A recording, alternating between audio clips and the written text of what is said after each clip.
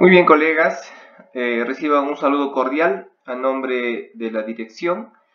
En esta oportunidad estamos eh, realizando un tutorial eh, con la finalidad de poder instruirles, poder capacitarles de cómo se pueden elaborar exámenes en nuestra plataforma virtual, visto que el periodo de exámenes ya se avecina. Ok, entonces para el día de hoy he escogido elaborar un examen de matemáticas para el curso de álgebra en el quinto grado de primaria. ¿Ya? Y pues bueno, entonces vamos a ponernos a trabajar. Lo primero es que debemos entrar a la plataforma utilizando nuestra cuenta y debemos ir al curso en el cual vamos a generar el, en el, cual vamos a generar el examen. ¿Ok? Entonces, eh, vamos a buscar eh, curso de álgebra quinto de primaria. Ya me voy a primaria, quinto grado y voy a generar un examen en el curso de álgebra de quinto grado, que está a cargo del profesor Jim.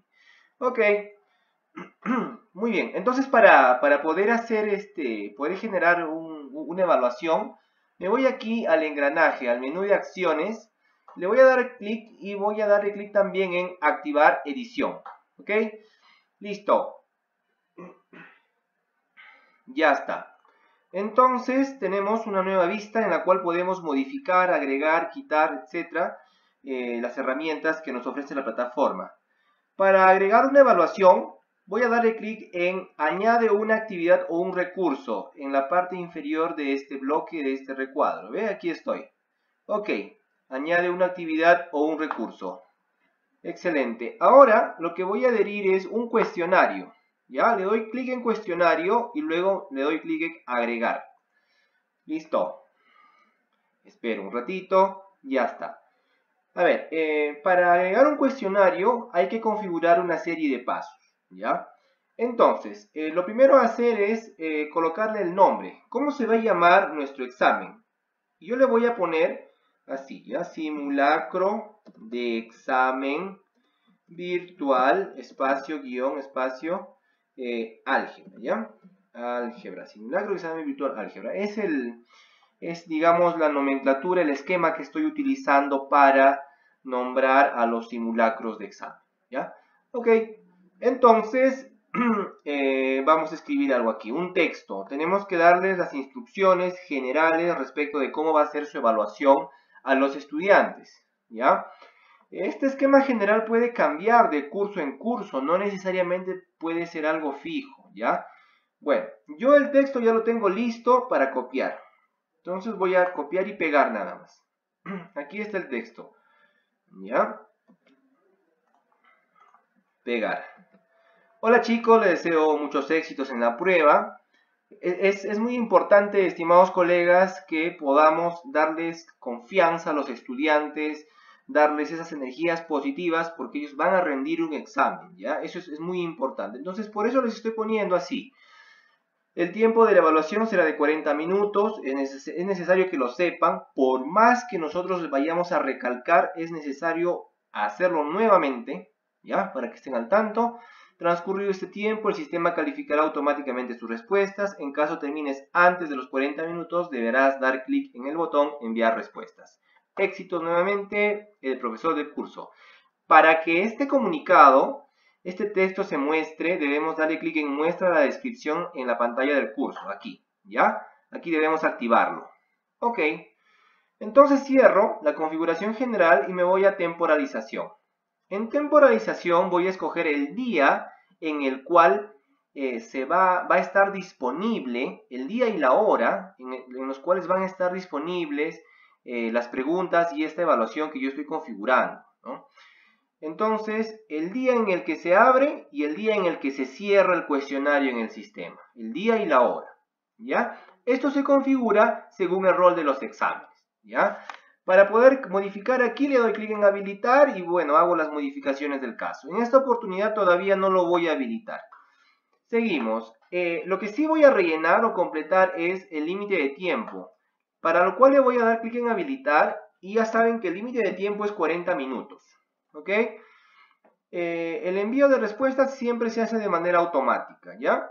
Bueno, cierro temporalización, me voy a calificación. Muy bien, entonces vamos a digitar eh, la calificación que el estudiante necesita para aprobar el curso, ¿ya? Y esta calificación va de la mano con la escala de conversión de números a letras que manejamos tanto en primaria, primer grado de secundaria y también en inicial. ¿Ok? Entonces la calificación para aprobar el curso es con el número mínimo que está comprendido en el intervalo para la letra A, que es el 13. Con 13 es que se tiene que aprobar un examen, ¿ya? Entonces, habiendo digitado este número, eh, seguimos, ¿no? A ver, este, los intentos permitidos sin límite, no. Solo un intento le damos a los estudiantes para que puedan eh, resolver el examen, ¿ya? Solo un intento. Eh, ¿Qué más? Esquema. Eh, ahí, esto es importante, ¿no? Eh, por estrategia, por favor, lo que tenemos que hacer es colocar 20 preguntas en una página, ¿no? Y aquí hay una configuración para eso. En una página como máximo vamos a poder mostrarles a los estudiantes 20 preguntas. ¿Por qué? Porque a veces los chicos, si le mostramos de repente una pregunta o 10 preguntas por página, ellos van a estar confiados que las 10 preguntas es para los 40 minutos, ¿no? Entonces ahí podría haber una, una situación, ¿no? Entonces yo lo que voy a hacer es colocarles un máximo de 20 preguntas por página, que es, ese, digamos, la cantidad suficiente y necesaria para abordar un examen, ¿ya? El examen obviamente podría tener menos preguntas, 12, 10, ¿no? Pero con esto yo me aseguro de que todas las preguntas se muestren en una misma página y el, estudiante no se confíe de que eso es todo, ¿no? ¿Ya? Ok, lo dejamos allí, salimos de esquema, lo minimizamos, comportamiento de las preguntas. Quiero que las respuestas o las alternativas, las claves de las preguntas sean barajadas, ¿ya? Por eso está activo el sí. Ok, seguimos entonces. Eh, opciones de revisión, no, aquí no hacemos nada. En apariencia podríamos presentar la imagen del estudiante de manera pequeña, ¿ya? Calificación, eh, decimales de las calificaciones, no, no vamos a calificar, no vamos a calificar con decimales, solo es con números enteros, cero decimales, ¿ya? Eh, restricciones extra, esto no. Retroalimentación tampoco, ajustes del módulo. La finalización de la actividad a veces es importante colocarle cuándo es que se cierra definitivamente el examen. Para eso tenemos que habilitarlo aquí, colocamos el día en el que se cierra y también la hora. ¿Ya? Ok, entonces, marcas lo dejamos ahí, competencias de igual manera. ¿Ya?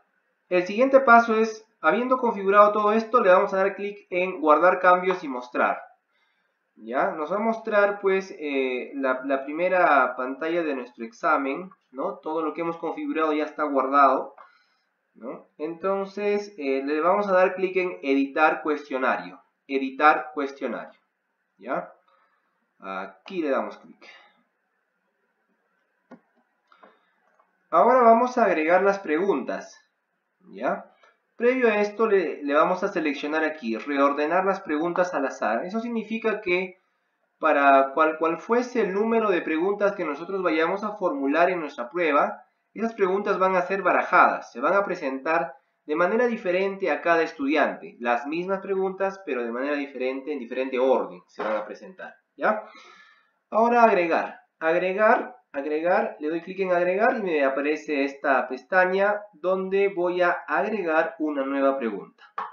Ok, entonces vamos a empezar por lo más fácil que son las preguntas de opción múltiple.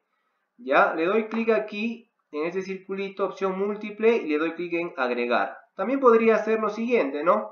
Le doy doble clic encima de la palabra opción múltiple o de cualquier lugar de aquí en, este, en esta en este botoncito, ¿no? Así, doble clic. Y también me hace caso. Muy bien. Aquí en categoría no tenemos que hacer nada porque eh, la computadora, el sistema ya va a almacenar esta pregunta en la categoría de eh, simulacro de examen virtual, etcétera, ¿no? Ya ahí lo va a almacenar.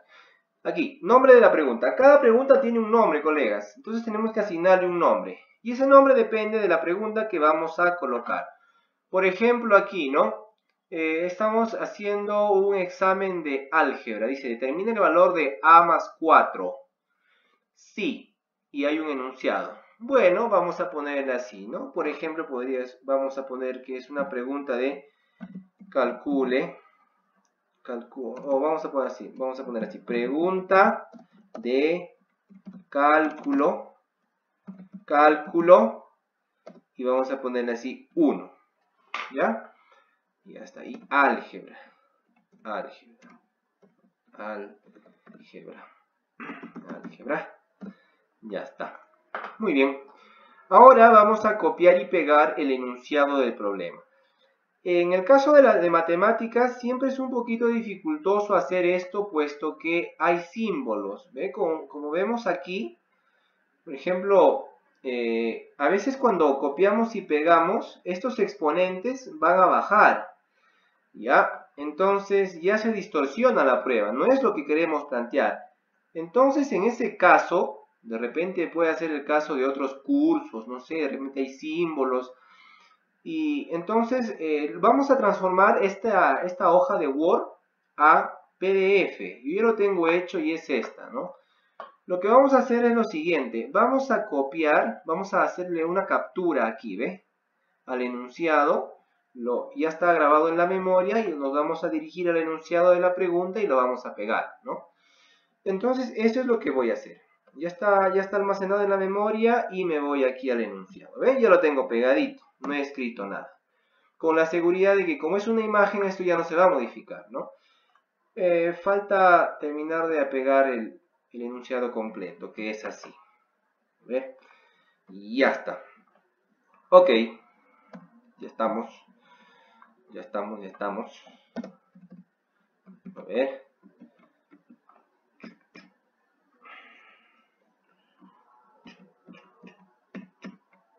vamos a acomodarnos, no sé qué ha pasado. Ya. A ver, vamos de nuevo por acá. Vamos a copiar. Algo ha pasado. Ya está. Listo. Queda. Ya está mi preguntita, ese es el enunciado. Eh, aquí no hay pregunta número 1, número 2, porque como todo va a ser barajado, cualquier pregunta podría ser la que ocupe el primer lugar. ¿ya? Eh, la puntuación que le vamos a asignar a esta pregunta. Eso ya depende del criterio, depende de qué cosa nosotros estamos evaluando y qué cosas para nosotros como educadores debieran o deberían ser más importantes. Eh, por ejemplo, ¿no? esta es una pregunta de cálculo que fácilmente se podría hacer con una calculadora. No hay que interpretar nada porque ya todo está interpretado. Solamente es una aplicación de las operaciones de adición, adición y sustracción, ¿no? Bueno, entonces yo pienso que lo justo que para un salón de quinto gradito de primaria esto debería valer como mucho un punto. ¿Ya? Muy bien. Eh, ahora, en retroalimentación general, bueno, no le coloquemos nada. Si gustan, se le puede colocar, ¿no? De repente Después de que el estudiante haya culminado su, su de hacer la pregunta, ¿no? Eh, se le podría enviar un mensajito, lo hiciste bien, lo hiciste mal, o debiste hacer esto, o ten más cuidado al calcular esto o el otro, ¿no? Pero también se puede dejar en blanco, ¿ya? Esto, es opcional, ¿ya? Lo que está aquí con el circulito y el signo de, de admiración en rojo, esto sí es obligatorio, ¿ya? Muy bien. Y the number también es opcional. Ya, una o varias respuestas. Ah, muy bien. Como estamos en una pregunta de opción múltiple, ¿ya? Hay casos en los que para un mismo ejercicio podría haber dos respuestas correctas, ¿ya? Bueno, pero este no es el caso. Entonces lo que vamos a hacer es eh, solo una respuesta y vamos a numerar las claves o las opciones o elecciones con letras minúsculas acompañadas de un punto. ¿no? Hay varias formas de hacerlo, pero yo lo voy a hacer así, con minúsculas, ¿ya? Ya. A, veces este, en ordenamiento de oraciones o eliminación de oraciones es preferible usar esta forma, ¿no? Esta, esta, forma de, ordenar las claves, ¿no? las, las alternativas. ¿Ya? Es criterio de cada curso. Ok, entonces en la elección número 1 tengo que colocar la clave que aquí el docente ha preparado, ¿no? Que es 111, 112, 13, 14 y 15. Muy bien. En bajadita lo ponemos, ¿ya? 111, 112, 113, 114. Esto es como decir las alternativas, ¿ya? Esto es para la A, la B, la C, la D y la E. ¿Ya? Bueno, así se hace. Pero como le hemos puesto que lo va, va este, va, va, va este, mostrar al azar las respuestas, entonces cualquiera podría estar, el 111 podría estar al inicio como podría estar al final, ¿ya? Por eso no, no, el sistema no está mostrando A, B ni C, ¿no? ¿Ya? Muy bien. Entonces, eh, calificación. Acá se escoge el porcentaje o la nota que se le va a asignar respecto de la calificación que tiene la pregunta. Aquí vale un punto. Entonces, a la respuesta correcta obviamente habrá que colocarle el 100%, ¿no? Porque hay una sola respuesta. Entonces, según lo que nos ha dicho el docente, es 115. Entonces este 115 le asignamos el 100%. Si el alumno marca 115, tiene un punto. ¿Ya?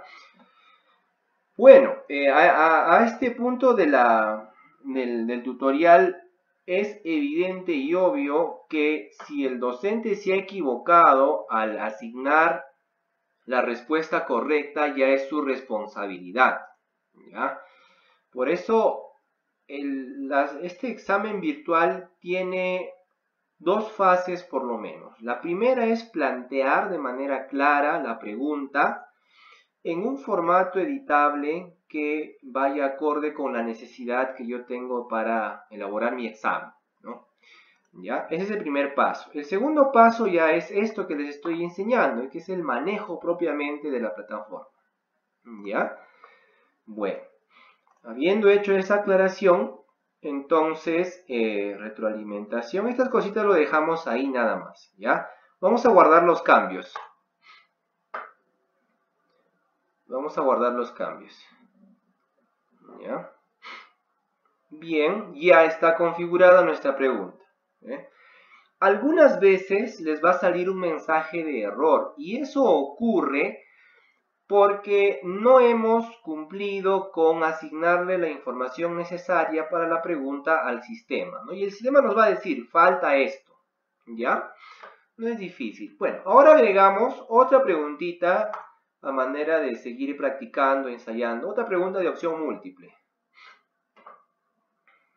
¿Ya? Bueno, me voy al material que ha entregado el docente. Por ejemplo, aquí sí es importante las imágenes porque podría traer confusión, ¿no? Cuando se copian y se pegan se distorsiona. Por eso mejor lo copiamos de acá.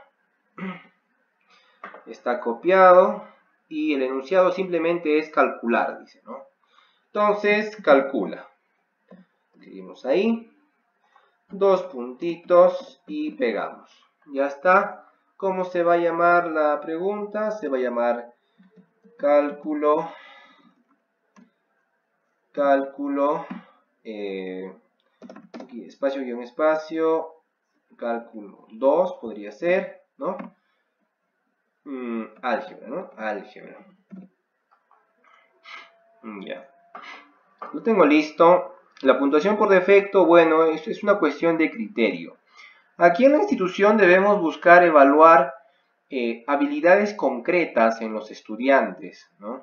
Esta pregunta realmente solo sirve para que el estudiante pueda demostrar su habilidad matemática, pero no la interpretación en una situación real, por ejemplo. Y eso es lo que vamos a ver este, luego de, esta pregunta, ¿ya? Así que yo pienso que esto, como mucho, un punto, si es que está bien hecho, ¿ya? Además estamos hablando de quinto grado de primaria, No es la primera vez que ven este tema. Uno, varias respuestas. Eh, solo una respuesta, hay que barajar las respuestas, hay que numerarlas con A, B, C, D, E, ¿no? Y bueno, a ver, vamos a ver, nos acercamos aquí, cuáles son las respuestas que ha planteado el profesor. 140, 130, 150. Ya. 140, 150. ¿Qué más nos ha, colocado aquí? no, 140, 130, 140, 130, 150. está. 141 y 142. A ver.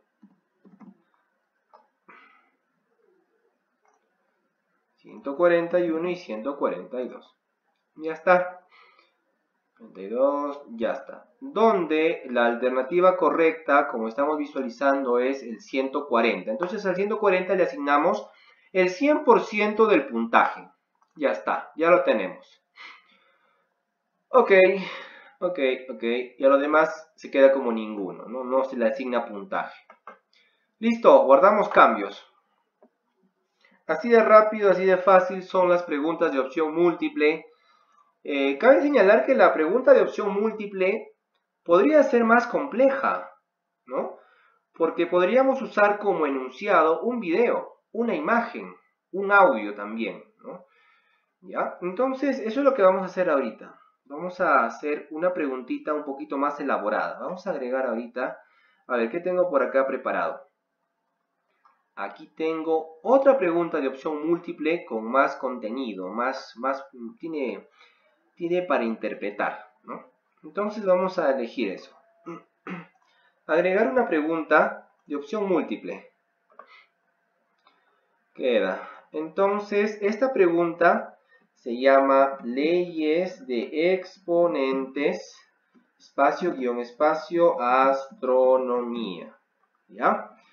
Es para que el alumno pueda entender que lo que está, lo que está aprendiendo es algo que, le debe de importar porque tiene una aplicación, ¿ya? Y las matemáticas se pueden aplicar a múltiples cosas, ¿no? O sea, ya depende de, digamos, de cómo, de cómo esté nuestra habilidad para ver matemáticas en el mundo real, ¿no? En la vida cotidiana, etcétera, ¿no? Entonces yo aquí tengo este texto, ya está preparadito, yo lo voy a copiar, nada más voy a copiar, siempre poniendo bonito el título, voy a resaltar mi trabajo, voy a poner leyes de exponentes y la astronomía, así se va a llamar la pregunta, una pregunta no es tan difícil, tienen que leer los chicos nada más un poquito, ¿no? Estos, estos numeritos los vamos a resaltar con la B de Volt, negrita, acá también, ¿no? Voy a resaltar el enunciado también. Y acá dice, ¿no? ¿Cuánto es el valor numérico de E? ¿Ya? Ok. Entonces, a esta preguntita, como es una pregunta pues que le manda leer, ¿no? Al menos, y es el uso de la teoría de los exponentes, le voy a poner dos puntos, ¿ya? Dos puntos me parece que, que estaría bien, o de repente tres, ya, en el mejor de los casos, ¿ya? Bueno, entonces ahorita eh, vamos a elegir el modo de una sola respuesta. Van a ver en nuestras, en nuestras este, alternativas, ABCD. Las elecciones, las elecciones van a estar así, ¿no? En ABCD.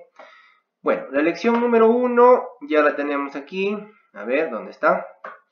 Acá está, ¿ve? 4 por 10 a la 16. Acá hay un tema. Ya. Entonces copiamos esto. Ah, me lo ha pegado tal cual. Está muy bien. Elección 2. Ok.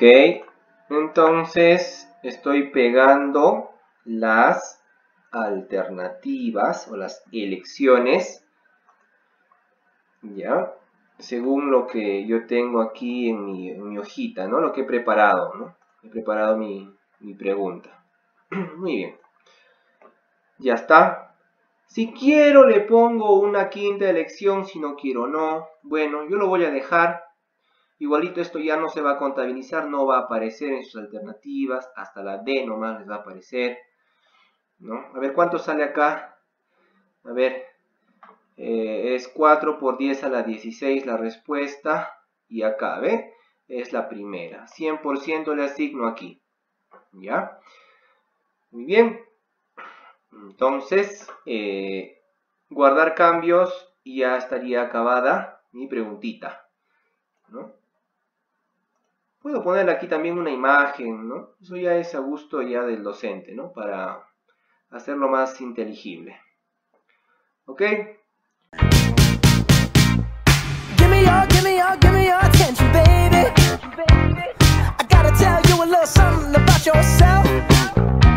You're wonderful, flawless, ooh, you a sexy lady. But you walk around here like you wanna be someone.